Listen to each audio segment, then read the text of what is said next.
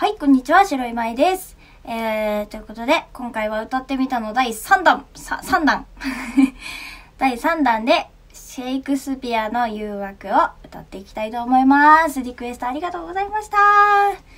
聞いてね